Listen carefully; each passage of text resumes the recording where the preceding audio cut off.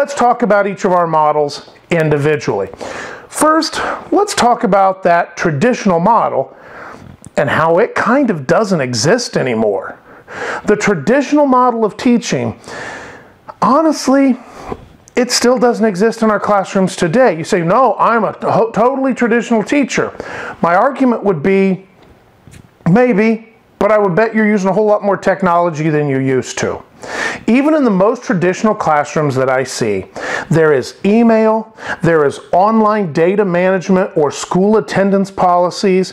In addition to that, there is data and digital testing that we do, whether it's a STAR 360, whether it's the old ThinkLink, whether it is any sort of RTI testing that's done digitally, we're already doing that in the classroom. And even if you say, I don't even do that stuff, Okay, do you have digital resources that you're pulling those in-class activities from? That's already digital. The things that you're creating to give to students, even if you give them on paper, probably started as ones and zeros in a computer.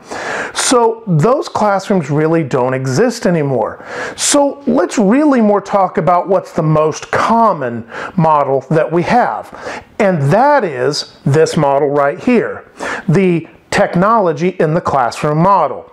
Now, technology in the classroom, we've already talked about some of the what easy ways that we have technology in the classroom from remind.com, parent communication, that's digital, using our computers and using the digital curriculum guides that they give us or that you have that go along with your textbook series.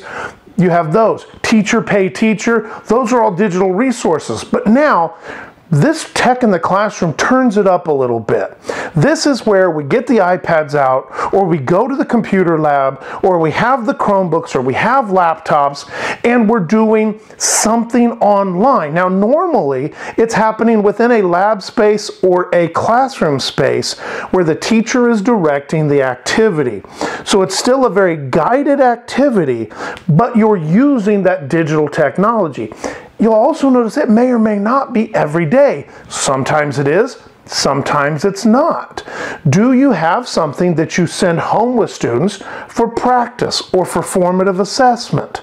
Do you have them do online spelling practice? Do you have them do Quizlet? Do you have them do different activities or games that are technology based?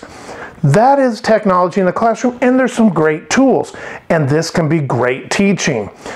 But unfortunately, technology is moving forward. So is society. And unfortunately, in the situations we may find ourselves in, we may have to turn it up yet again. So, moving from teacher with technology in the classroom to kind of this middle step, that's where we're headed next.